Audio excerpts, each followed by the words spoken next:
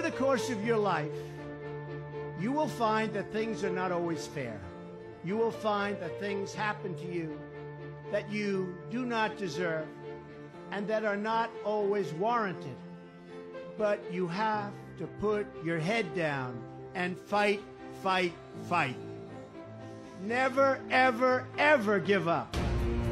Don't give in, don't back down, and never stop doing what you know is right. Nothing worth doing ever, ever, ever came easy. And the more righteous your fight, the more opposition that you will face.